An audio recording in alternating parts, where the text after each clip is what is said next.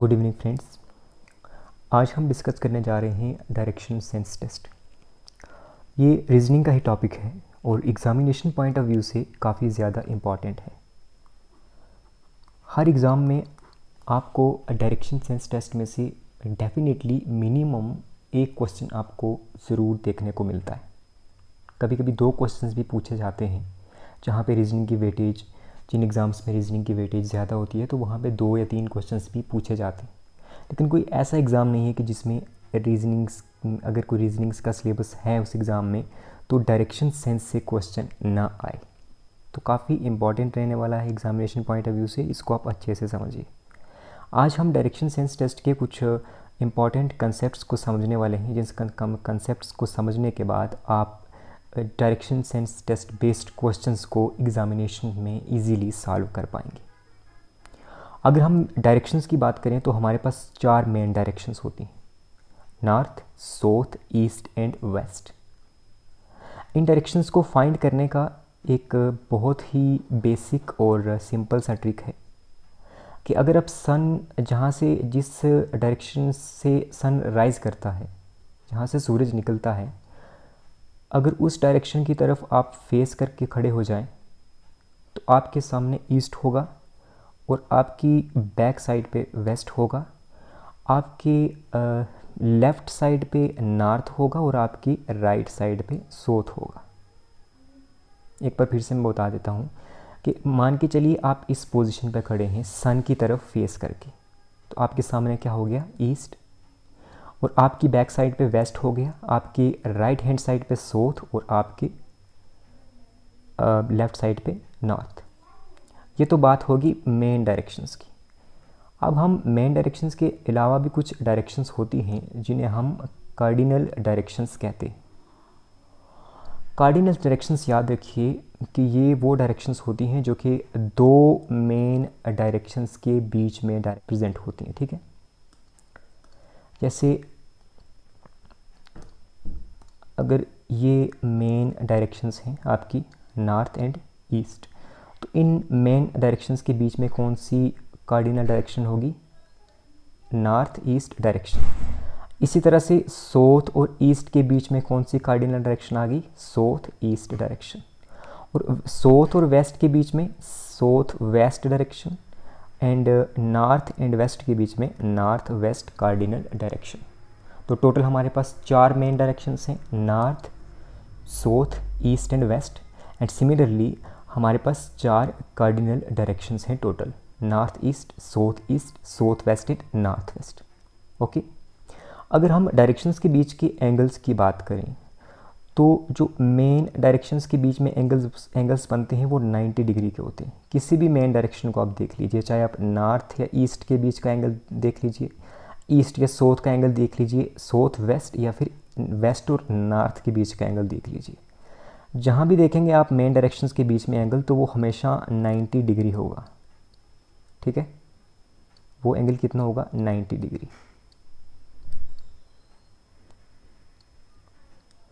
इसी तरह से अगर हम कार्डिनल डायरेक्शंस के बीच का एंगल देखें तो कार्डिनल डायरेक्शंस के बीच का एंगल होता है 90 का हाफ़ कितना हो गया? 45 डिग्री।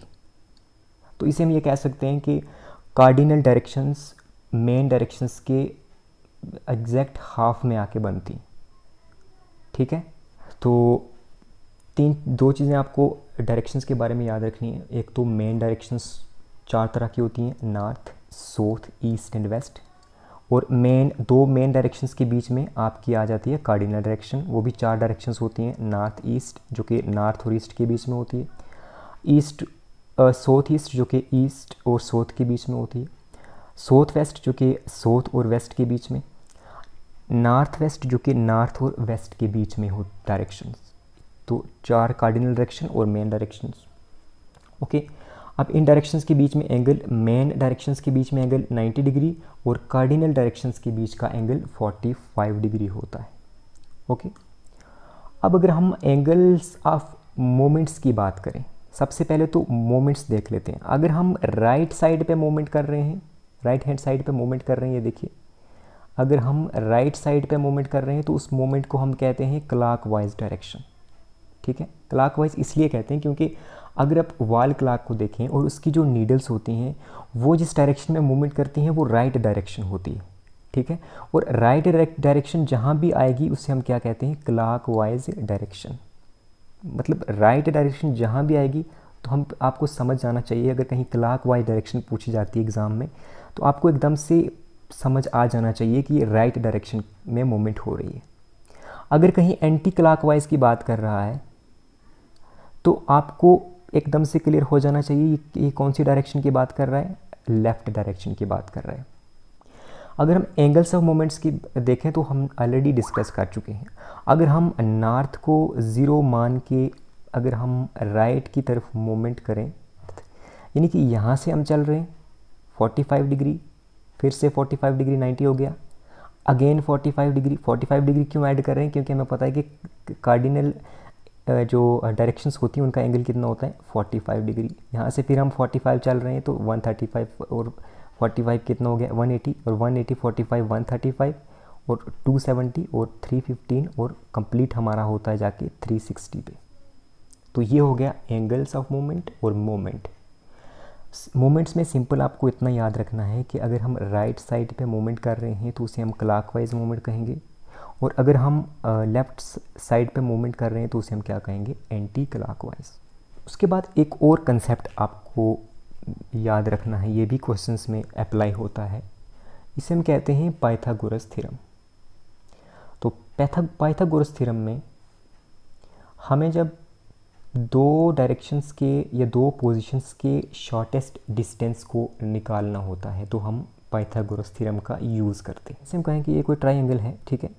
इसमें ये एक इनिशियल पोजीशन है और कोई बंदा है जो कि इनिशियल पोजीशन से फाइनल पोजीशन की तरफ़ जा रहा है। लेकिन वो बी पॉइंट से होके जा रहा है। ठीक है?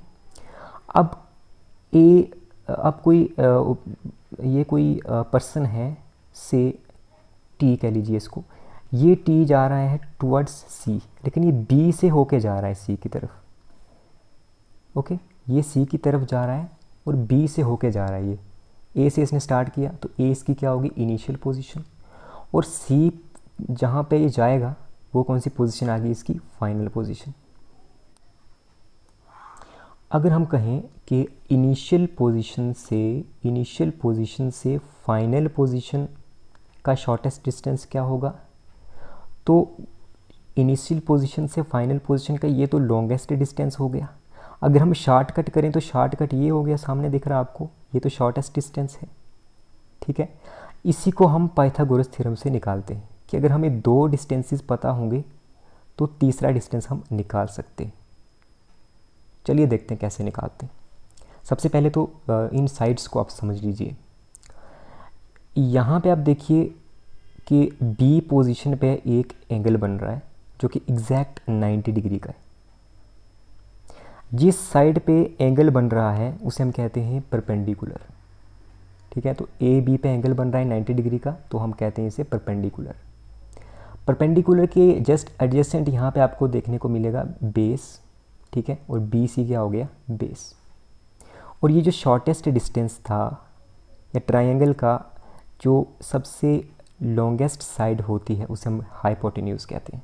ए सी के आगे आपका हाइपोटेन्यूज पाइथागोरस थ्योरम क्या कहता है कि हाइपोटेन्यूज का square is equal to perpendicular का स्केयर प्लस बेस का स्केयर ये हाइपोट पाइथागोरस थ्योरम का फार्मूला है को हमेशा आपको याद रखना है।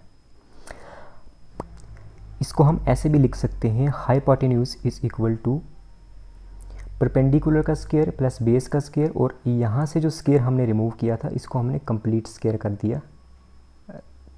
राइट हैंड साइड पे, ये लेफ़्ट हैंड साइड थी, यहाँ से हमने स्केयर को रिमूव किया और राइट हैंड साइड पे हमने कंप्लीट स्केयर कर लिया स्केयर रूट के अंडर कर लिया हाइपार्टिन्यूस के स्केयर को और सॉरी बेस के स्केयर को और परपेंडिकुलर के स्केयर को। ठीक है? तो ये था पाइथागोरस थ्योरम पाइथागोरस थ्योरम हमेशा आपको याद रखना है। यानी कि हाइपार्टिन्यूस का square is equal to base का स्केयर प्लस परपेंडिकुलर का स्केयर, ओके? तो ये सिंपल सा पाइथागोरस थ्योरम था। ये भी क्वेश्चंस में काफ़ी अप्लाई होता है। तो चलिए अप्लाई करके देख लेते हैं। हम एक क्वेश्चन को सॉल्व करते हैं। ये हाई पाइथागोरस थ्योरम से ही सॉल्व हुआ। हमें कहता है कि श्याम ओके, इस क्वेश्चन में कहता है कि श्याम एक पोजीशन है ए एक पोजीशन है ए उससे वो आठ किलोमीटर नॉर्थ ईस्ट की डायरेक्शन में चलता है। यहाँ से वो आठ किलोमीटर चलेगा नॉर्थ ईस्ट की डायरेक्शन में। यानी कि अगर इसकी इनिशियल पोजीशन ये है तो इनिशियल पोजीशन से वो नॉर्थ ईस्ट की तरफ़ कितना चलेगा? Eight kilometre. इनिशियल पोजीशन उसकी ए है, ठीक है? यानी कि स्टार्टिंग पॉइंट उसके बाद दूसरा ही कंडीशन यहाँ पे दी हुई है कि वो six kilometre then south east की तरफ़ चलता है। तो नॉर्थ ईस्ट पे जाके साउथ ईस्ट की तरफ़ वो कितना चलता है? सिक्स किलोमीटर तो ये साउथ ईस्ट की तरफ़ कितना चल गया वो? सिक्स किलोमीटर तो ये इसका स्टार्टिंग पॉइंट हो गया और ये श्याम का एंड पॉइंट हो गया। श्याम का ये क्या हो गया? एंड पॉइंट हो गया सी अब हमें पूछा गया है कि सबसे पहले तो आप टोटल डिस्टेंस बताइए कि श्याम ने कितना डिस्टेंस ट्रेवल किया? और साथ में आप शॉर्टेस्ट डिस्टेंस बताइए।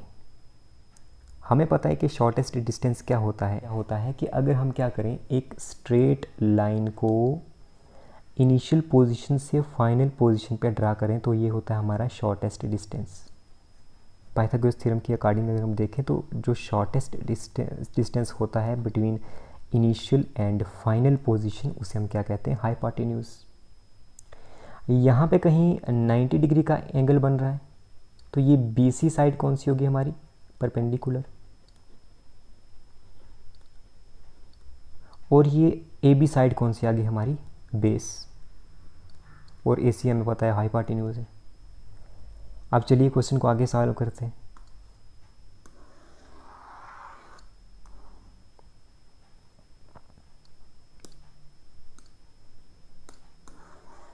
ठीक है?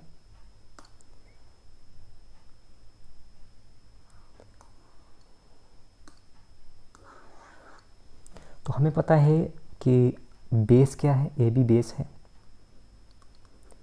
ए बी और B C perpendicular B C perpendicular और ए सी हाईपार्टिन्यूज यानी कि शॉर्टेस्ट डिस्टेंस हमें तो बेस की वैल्यू दी हुई है। बेस की वैल्यू हमें यहाँ से बेस की वैल्यू कितनी है? सो so, बेस की वैल्यू कितनी है? ए बी की वैल्यू कितनी है? एट किलोमीटर और बी सी की वैल्यू यानी कि परपेंडिकुलर की वैल्यू कितनी है? सिक्स किलोमीटर और हमें वैल्यू पता करनी है ए सी की, यानी कि हाई पार्टीन्यूज़ की वैल्यू हमें पता करनी है। तो ग्रस्त क्या कहती है कि हाई पार्टीन्यूज़ का square is equal to base का स्केयर ए बी का स्केयर प्लस बी सी का स्केयर हाई पार्टीन्यूज़ का square is equal to base का स्केयर प्लस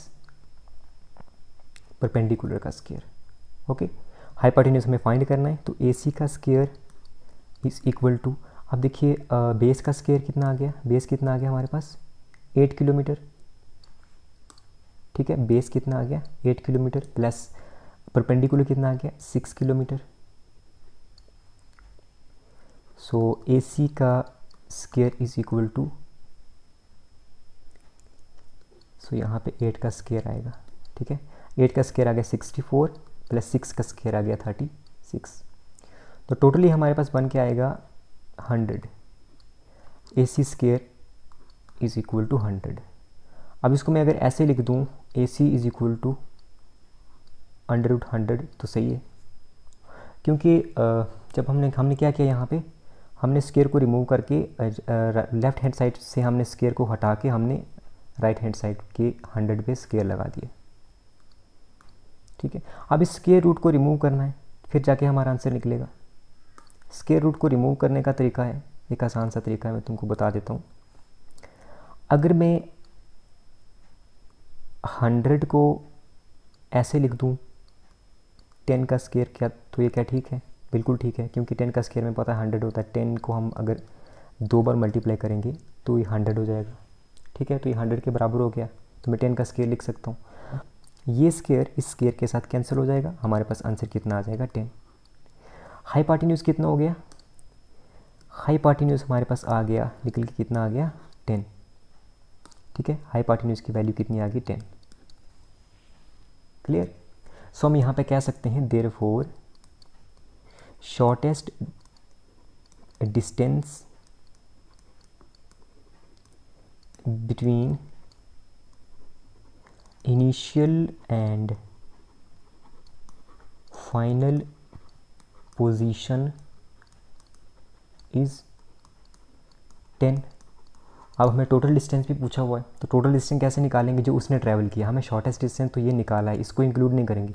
टोटल डिस्टेंस जो उसने ट्रैवल किया है एट और सिक्स फोर्टीन किलोमीटर ठीक है? So total distance and total distance is equal to fourteen centimetre total distance कितना हो गया? Fourteen centimetre okay I hope कि आपको ये क्वेश्चन समझ में आया होगा क्लियर हुआ होगा अच्छे से। चलिए एक बार फिर से हम देख लेते हैं।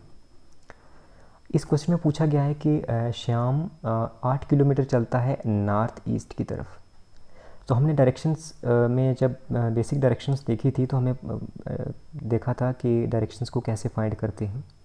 ये नॉर्थ है, ये साउथ है, ये ईस्ट है और ये वेस्ट है।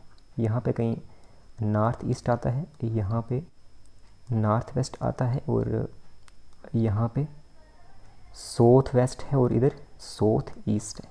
तो श्याम सबसे पहले कहाँ पे किस डायरेक्शन में चलता है? ये श्याम की ओरिजिनल पोजीशन है मान के चलिए तो इस ओरिजिनल पोजीशन से किस डायरेक्शन में चलता है? नॉर्थ ईस्ट तो ये देखिए नॉर्थ ईस्ट इसी डायरेक्शन में चल रहा है कितना? आठ किलोमीटर। फिर आठ किलोमीटर से वो एक टर्न लेता है और चलता है साउथ ईस्ट डायरेक्शन की तरफ़ सिक्स किलोमीटर। ठीक है? ये रही साउथ ईस्ट की डायरेक्शन तो इसी डायरेक्शन में जाएगा कितना? सिक्स किलोमीटर हमें पूछा गया है कि इनिशियल पोजीशन से बताइए कि इनिशियल पोजीशन से फाइनल पोजीशन के बीच का डिस्टेंस कितना है। एक चीज़ तो ये पूछी गई है। दूसरा पूछा गया है कि श्याम ने टोटल कितना डिस्टेंस ट्रैवल किया? तो हमें पता है कि इनिशियल से फाइनल पोजीशंस के बीच का डिस्टेंस हम पाइथागोरस थ्योरम से निकालते हैं। तो हमने पाइथागोरस थ्योरम अप्लाई की।